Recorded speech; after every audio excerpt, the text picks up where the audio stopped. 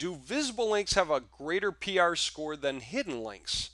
And currently, I cannot tell you. All I can say is that there doesn't seem to be an actual distinction. There's nothing pointing it out. By the way, for people who say, you know, what's the value of having more than one backlink on a page? Well, look anyway, linked pages. There's two different pages that are linked to from this website, two different pages of the same website. Google's counting all that. Uh, in this case, 12. There's 79 links. Oh, that's from YouTube. I was going to say 12 is wild. I wonder who was doing that. Different websites have backlinks, like six, things like that. Uh, different pages that they backlink cycle between all the way around. So these are big projects that are really, really cool that just made the point, man. Shove, shove things up. For all I know, I'm close to a page rank 4. It's like a 10-fold leap to get from a page rank 3. You got to have page rank 3 like 10 times in a row to finally have a page rank 4. But all you do is keep tacking on more as you go. It's really not hard. Get indie websites. Most of those, I do not own them. Other people loan them to me. They loaned them to me in exchange for me doing projects to share the results with them. They weren't using the pages on the site.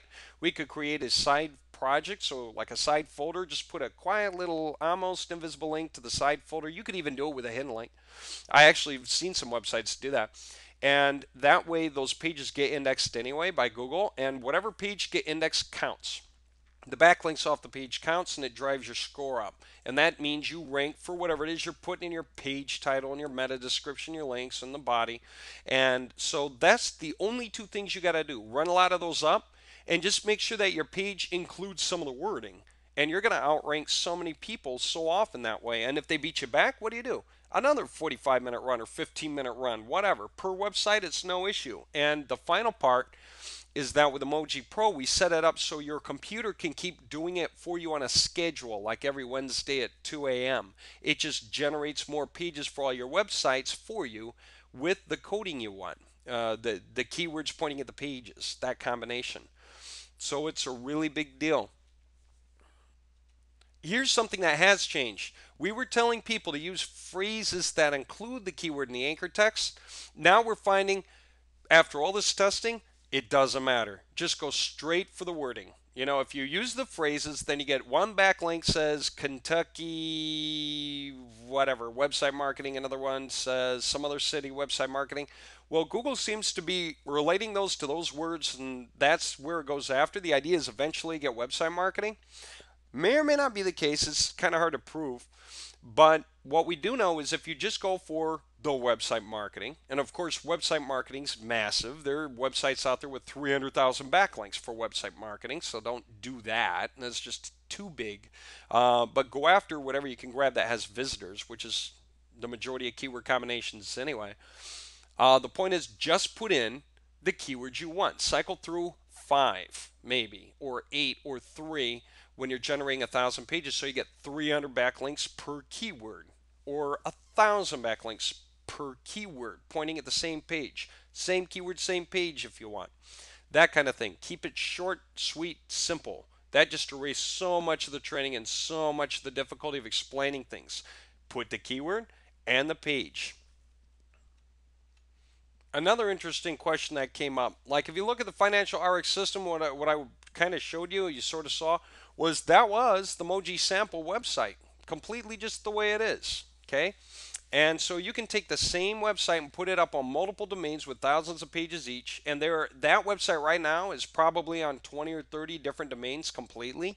The very same website, the same images, the same template, the same style sheets, everything's the same. Somebody asked me, how many unique pages can you make with one var sheet or one placeholder website? And the answer is probably 54 million that you can spread across hundreds, if not thousands, of domains because the content's going to come out unique and Google's going to count it.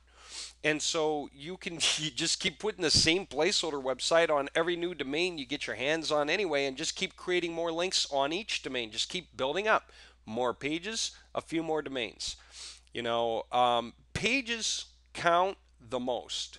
Okay, if you have one website and you just keep putting pages on it, you're probably going to get something to rank very, very well.